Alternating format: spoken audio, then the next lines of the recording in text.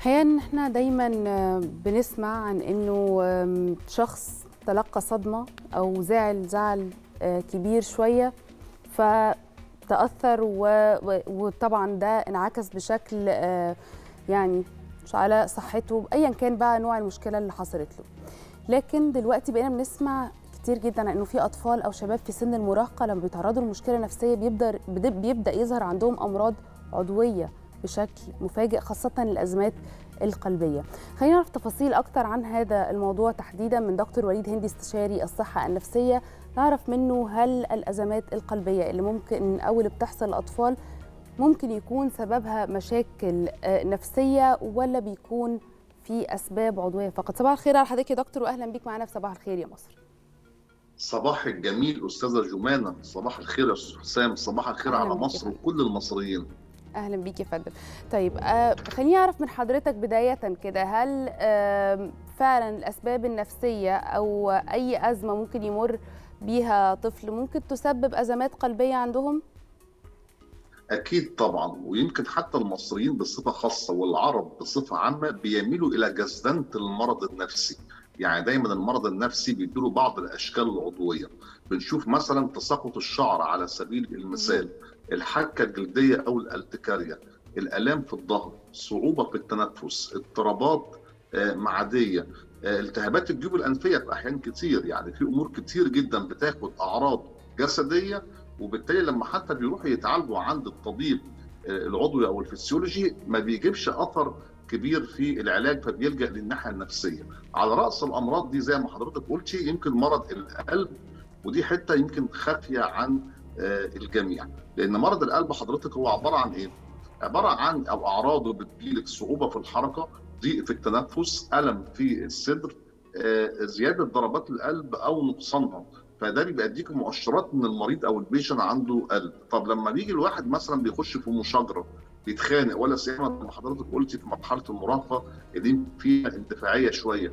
فالخناق والعصبية والضغط العصبي يؤدي لزيادة في تدفق الدم وبالتالي بتزداد ضربات القلب فيصاب بالقلب. دي جزئية مهمة. الجزئيه الثانية برضو بالنسبة لمرحلة المراهقة غالبا إحنا في بيوتنا لما بيجي الابن بينتقل من مرحلة الطفولة لمرحلة المراهقة بيكون الولد عنده ما يسمى باضطراب الهوية. يعني هو شايف نفسه كبر. كل الأعراض الجسدية اللي عليه بتقول إنه كبر. بيطلع له شعر في دقنه في متغيرات فسيولوجيه صوته بيتخن احتياجاته بتختلف في حين إن الأب والأم ما زالوا بيعاملوه كأنه طفل صغير بالأوامر والنواهي والتعليمات والزجر والغضب والنحت ببعض الالفاظ غير المستحبة. فبيبقى عاوز يتشدق في بعض الأمور الاعتراضية اللي يقول أنا كبرت يلجأ للتدخين. فالتدخين هو سلوك مترتب على الضغوط العصبية بتاعته فتخليه ممكن يدخل في عملية القلب أو يصاب بالأزمات القلبية. ده مش كده وبس كمان ده إحنا عندنا مرض بيسمى فرط الشهية العصبي. فرط الشهية العصبي دوت المرأة بالذات بيبقى معدلها معدل الإصابة عندها أكتر من الراجل. لما بتتعرض لضغوط عصبية ونفسية شديدة الأولاد مثلا في مرحلة الثانوية العامة في مرحلة البكالوريوس والمراحل النهائيه من الدراسة البنت لما تكون متجوزة متجوزة في سن صغير وجوزها بيمارس عليها ضغوط عصبية ونفسية. فنتيجة الضغوط العصبية والنفسية دي بتحاول تتنفس في الطعام فبيجي لها ما يسمى بفرط الشهية العصبي فتاكل أكلات مشبعة بالدهون أو الأكلات اللي طيب. هي ال take away أو الأكلات المعلبة دو... فبالتالي بيزداد عندها معدل دكتور وليد لو الدم والقلب. يعني حد من الأهالي أولياء الأمور آه لأطفال آه شايف حضرتك دلوقتي وشايف إن ابنه عنده آه نوع من أنواع الضغط العصبي في المدرسة في التمرين آه عنده مشاكل في التعامل مع حد من إخواته مع الأب شخصيا أو الأم زي ما يعني إزاي يقدر يتعامل معاه؟ لو طلبت من حضرتك تدينا روشتة كده من ثلاث أربع نقاط نختم بيها هذا اللقاء.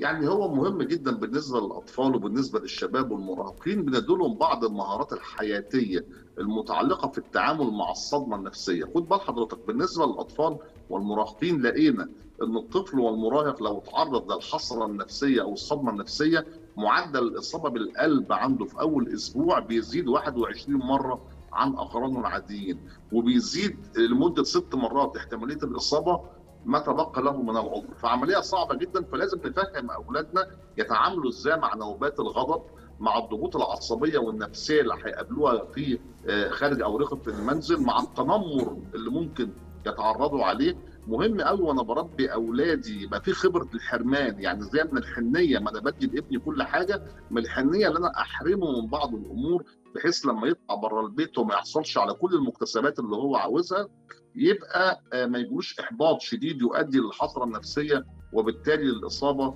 بالقلب. الرياضة لازم يمارس رياضة بصورة كويسة والابتسامة زي ما كان ابطلت الرياضيين في الفقره اللي قبل كده بيتكلموا بابتسامة وبطلاقة نفسية.